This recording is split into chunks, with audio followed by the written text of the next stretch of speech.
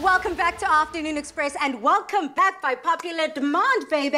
I'm so happy every time I come back into the kitchen. I kind of feel like I don't even want to be professional. I just want to say things and Yeah. do things. Well, please And- don't. Oh. Because we have to give South Africa the tips and tricks that they need to truly deck out their uh, Christmas tables this year. Right? So let's get into it. Whether you want to cook it from scratch or slice and serve, Woolies has you covered this festive season. Today, Chef Clem is going to show us how to make a chipotle and pineapple gammon from scratch. Ooh, I'm already sweating bullets. Okay, but why? Why? How many gammons have you cooked in your lifetime? Zero. Okay, today, today is the education, okay? It is so simple. So let's start off from scratch means uncooked. But Woolies also have a selection of the cooked gammons. So you just have to like glaze it yourself and slice it and you're good to go. They even have the, oh, here we go, right here, the sliced gammon.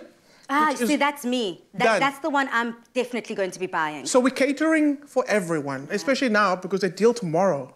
If you're a Woolies Rewards member, Yeah. buy any two, get 25% off.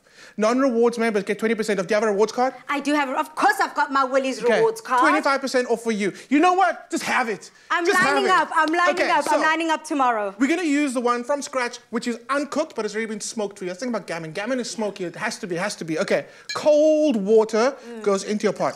Okay? I, I see that your pot is cold too. Yes, alles cold, everything cold. The reason why, if you're gonna start off with hot water, you're gonna start cooking your gammon from the outside too quickly, the inside not so much. So start off with cold water so everything comes together gradually. And I don't want to call out that Gogo and that auntie back at home, but you heard that? We don't want no chewy, uncooked middle of the gammon this year. Even if you have chewy, dry gammon, there's things you can do with it afterwards to make it delicious. Like a delicious mac and cheese with gammon. I mean, hey. A little hey. gammon croquette. Oh, excuse me, can I just, can I, can I get an apron? Can I get an apron for Pali? Chef Pali has just, that's a nice one, I like that. Okay. No, you help me level up in the kitchen, and that's exactly what you and Woolies are doing this festive season. When it's festive season, we have to have Chef Clem. You know? You know? It's- absolutely, absolutely. Okay. In here went onions, carrots, celery, bay leaves. If you're using onions in your kitchen at any time, bay leaves go with it. They're best oh. friends. They're best friends. I do love a good onion. Right? But I've never tried it with uh, bay leaves. Yeah, believe it or Okay. not. I love that tip. And then in goes the In goes your gammon. So get your mom's biggest pot, okay? Get your big gammon in there and cover it with enough water to just cover everything that's going on inside that pot, okay? Here's the rule. For every one kilogram of gammon that it weighs, you can cook it for, cook it for an hour. Oh. So that means for every 500 grams, half an hour, okay? Cook it, okay? Then, as soon as it comes out of that water, you let it cool down. And the thing is, I cook it with a net on, just to keep it together. Ah, I love that. As soon as it comes out and you can handle it without burning, you take the skin off.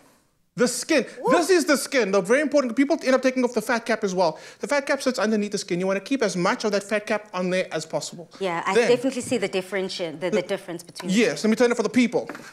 What I do is I took a sharp knife and I just scored the fat into little diamond shapes, Mm. then went to the oven. You want to start rendering out the fat. And that sounds like, wh- what? What? Yeah. Rendering out the fat is, I like the way she says, yeah.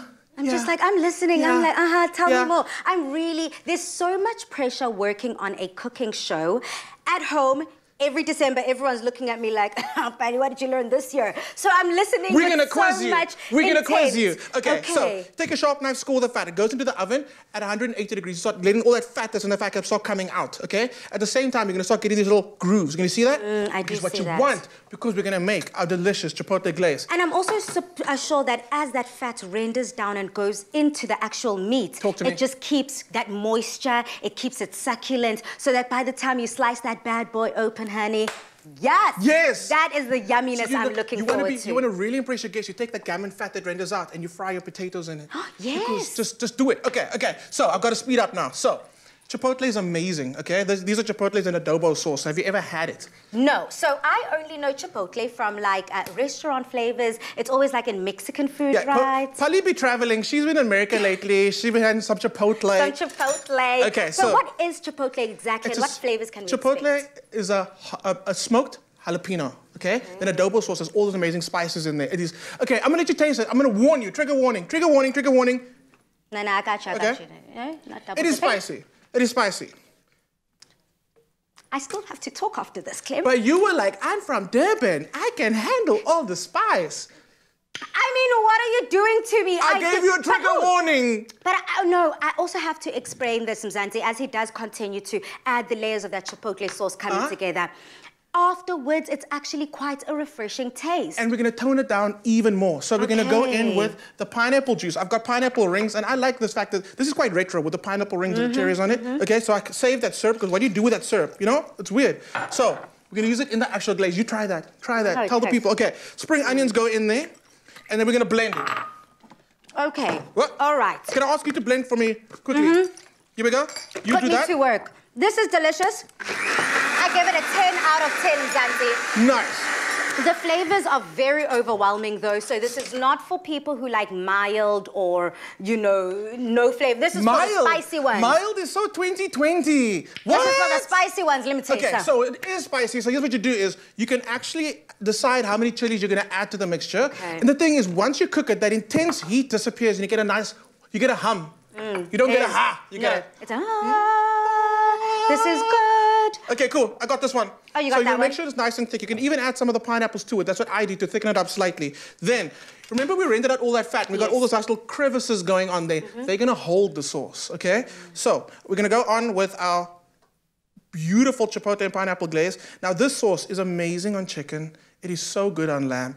On beef, it is magical. I just love the way the way that Pele goes, But also, I can. It's like you're looking into my soul, like you get Absolutely. me. And, I- and what you are saying makes so much sense because the flavors that do come from this chipotle sauce are so versatile. I really can add it to almost any meal. Any meal. So jar that bad boy up and you Absolutely. can enjoy it at another time. So you- and I love the fact that you added it with the gammon. It's it's it's so beautiful. The sweetness also. The Yeah, I can taste that too. So you know, like when you make a tomato-based thing, sauce like a curry, or you make like certain stews that have a lot of spices, they taste better the next day. Yeah. The thing about gammons is you make a gammon intentionally to have it for the next three days.